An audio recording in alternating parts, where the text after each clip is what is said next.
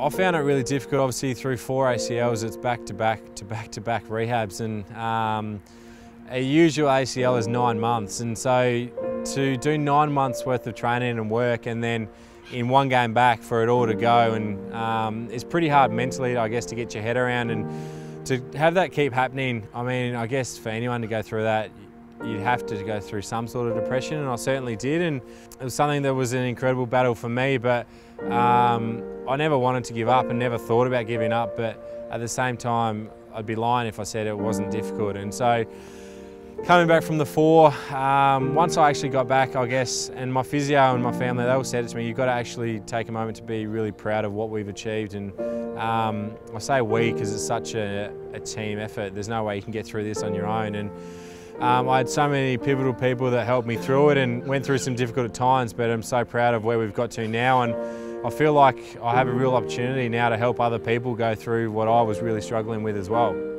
I had a lot of people contact me and it probably took me three months to really get back to a lot of messages and um, a lot of them were I've done one ACL or two ACLs, what's your sort of advice? And I wrote back to all of them because you, you feel the empathy and you understand what they're going through, but I also had a, I did, I probably had a light bulb moment where I thought, well, why don't, why don't I come up with something where rather than replying to every single person um, and giving them a personalised message where it's a little bit different but the concept's the same, why don't I come up with something where I can just refer everyone to the same thing? And so from there I decided um, to do a website. Uh, I've got a bit of information on there that will hopefully help people. So it's MTMF, it's Mental Toughness, Mental Fortitude. It's a slogan that I come up with about three years ago um, for a couple of reasons. One, to help me through my rehab and uh, to remind me obviously of what I've been through and how far I'd come and um, to obviously keep going. But secondly, it was also through the support and the messages I got. And every time I've read these messages, um, it made you just think, oh, there's no way I'm not going to overcome this. And I've just had,